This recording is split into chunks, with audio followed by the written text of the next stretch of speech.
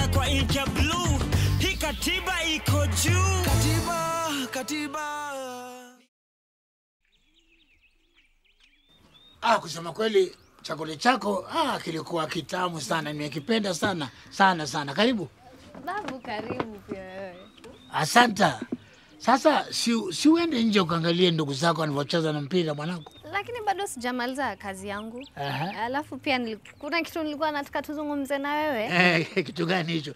Mi najua ujanja wako, najua bado wataka kujua mengi kuhusu historia ya Kenya, ama sivyo? Basi ndio, unajua kwa nini sana Eh. sana, kwa sababu nilikuwa si ndio constitution ile Aha. propose, nilikuwa nasoma hiyo chapter 2 na nikapata sovereign republic that Kenya is declared as a sovereign republic. Sasa nilikuwa nataka tuzungumze kuhusu hiyo.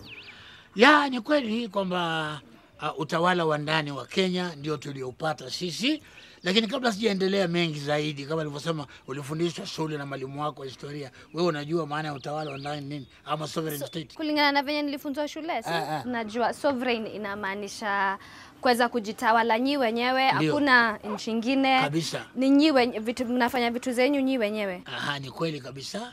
Na swali lingine, kabla sijakuelezea mengi, unajua maana ya jamhuri wewe ama republic? Republic, Ah. republic nayo ni ile um, form of governance ama ile political system ambayo wananchi uh -huh. wa tuseme kama Kenya wanachagua watu ambao wata watawasaidia kuran si nchi. Hayo waliosema ni kweli kwamba walikuwa na hiyo system ya kujichagua wao wenyewe kwa wenyewe na pia vile vile kuweza kujipatia mamlaka ya kutawala wao wenyewe kwa wenyewe.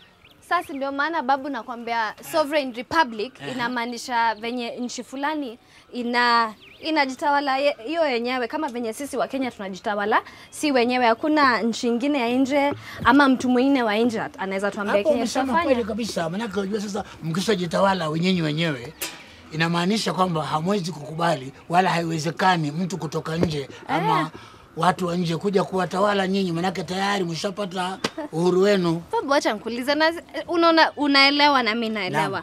Mbona basi lazima iandikwe kwa hiyo proposed constitution? Mbona kwani lazima iandikwe? Sisi wote tunajua hiyo inamaanisha nini. haja yake ni kuleta ule utofauti ulioko kati ya ile katiba ya zamani na katiba ambayo tunaiunda sasa. Kwa hivyo tumeonelea miaka yote ya arobaini na tano bado tunashikilia tu hii katiba ya zamani. Kwa nini hatuwezi kuwa na katiba yetu mpya? Ndio sasa unaona tumeamua kuwa na katiba yetu mpya ambayo inaandikwa na wataalam wetu wenyewe wa Afrika. Lakini babu, ndio unashanga ukisema ati, ati sisi watu wadogo na, sisi hatuelewi. Mbona unasemaga vitu kama hizo? Amwelewe nini? Unasema ati hatuelewi kwenye tumetoka uhu, kwenye nyi watu wazee mlitutolea uhuru.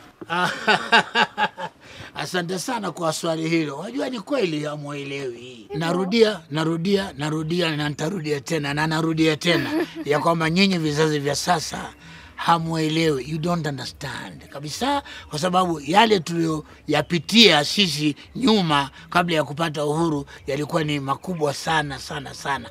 Tulipata shida, tukapata tabu, viongozi wetu ambao walijitolea katika harakati za kukomboa taifa hili walipata shida sana. Ndio maanake sasa anakuelezea wewe ambaye ni, ni kizazi kipya.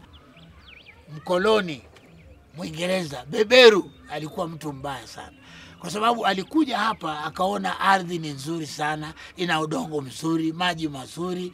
Sasa hebu fikiria wale ambao walikuwa wakimiliki ardhi yao Afrika, haswa zaidi wa Kikuyu na Wamasai. Hao sasa ndio walikuwa wameandamwa kabisa waondoke, ili beberu mzungu akalie nchi hiyo, na ndivyo walivyokuwa Walikuja wakakalia nchi hiyo. Sasa wale wenyewe wa Afrika wa Kikuyu na Wamasai na Waafrika wengine pia waliokuwa na ardhi nzuri nzuri wakawa sasa wao ni kama slaves, yani watumwa. Walikuwa ni wafanyikazi wa hawa wabeberu ambao waliwanyang'anya mashamba yao na sasa wakawatawala hawa Waafrika. Mwanangu, Ndio babu. uliwahi kusikia kitu kama White Highlands? Eh, na si Ama katika shule mliwahi kufundishwa na mwalimu wako historia mambo ya White Highlands? ndio, si ni kwenye wale white settlers wenye walikuja kwenye walikuwa naishi. Kweli kabisa. Na wajua kwa nini waliita White Highlands? Kwa sababu makaburu wenyewe walijua pale ni mahali pazuri sana, palikuwa na rutuba nzuri, udongo mzuri, ardhi nzuri, jua zuri, mahali palikuwa na maji wakati wote. Sasa kwa vile ambavyo walijipenda sana, ndio wakanyakua mahali pale wakae wao peke yao, Na kwa sababu ya uzuri wa ardhi hiyo. Au wakenya wenye walifukuzwa kwa hizo shamba babu mm. walikuwa najili ah, white settlers eh?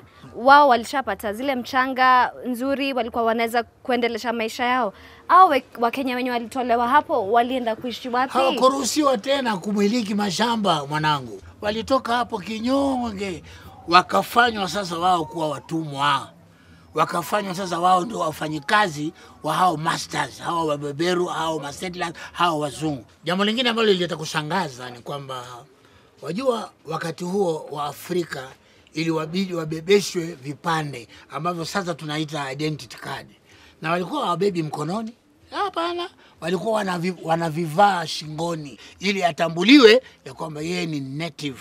Alikuwa akiitwa hivyo wakati huo Mwafrika.